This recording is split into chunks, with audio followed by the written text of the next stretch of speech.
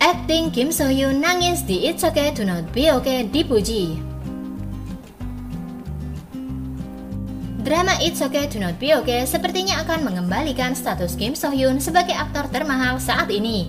Serial yang tayang di TVN mulai 20 Juni ini mampu membuat penonton seolah ikut merasakan emosi dari karakter Moon Gang Tae yang dimainkan dengan apik oleh Kim So Hyun. Dalam episode terbaru It's Okay to Not Be Okay, Kim So Hyun mengajak penonton untuk senyum-senyum sendiri melihat kisah cintanya bersama So Ye Ji sebagai Go Moon Young mulai terjalin. Namun di akhir episode ke-9 yang tayang pada 18 Juli kemarin, Kim So Hyun juga sukses membuat penonton berurai air mata ketika menangis ketakutan saat kakaknya yang menderita autis yaitu Moon Sang Tae menuding adiknya ingin membunuhnya.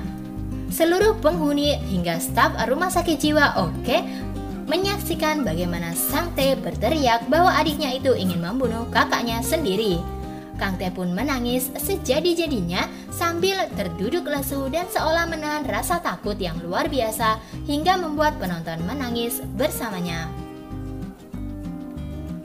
Acting apik Kim Soyun menunjukkan emosi Moon Kang Tae berhasil membuat fans memberikan beragam komentar pujian padanya. Bahkan tak sedikit yang menyebut wajar rasanya jika aktor 32 tahun ini didapuk menjadi aktor dengan bayaran termahal yakni 2,29 miliar per episode.